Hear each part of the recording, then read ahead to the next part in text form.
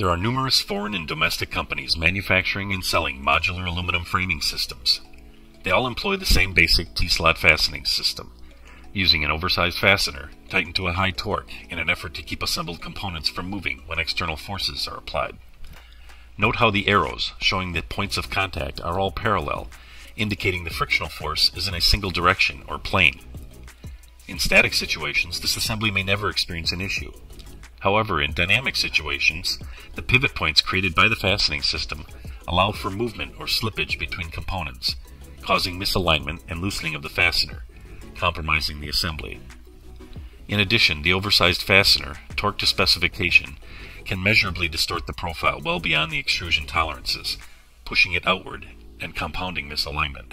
The key to correcting the issues with existing T-slot fastening systems is in eliminating all pivot points by creating a mechanical lock. First anchoring the nut in two planes into the V-shaped area of the extruded profile.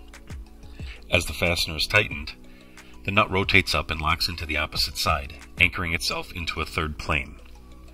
The upper bracket now slides into position and is precision aligned to the extruded profile, creating a fourth locking plane and as the fastener is brought up to its required torque, the appropriately sized bolt stretches slightly.